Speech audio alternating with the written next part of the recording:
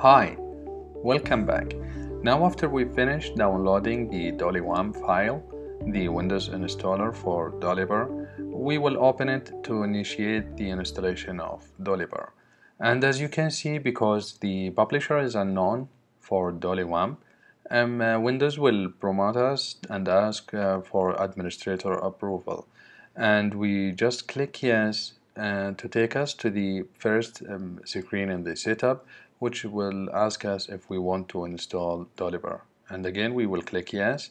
As you can see here now it gave us uh, Visual C++ redistributable for Visual Studio 2012 component is missing. And if we continue the the setup of Dolibarr will fail. For that we will go to Google okay and we will search for the Visual Studio. As you can see Visual C++ redistributable for Visual Studio 32-bit uh, version. We will search for it using Google. Okay we will write Visual C++ redistributable for Visual Studio 2012 okay and we will search for that. The first result we will get is from Microsoft. Okay we will click on that to take us to this page. The download page we will choose the language which is English. Okay and then we just click download.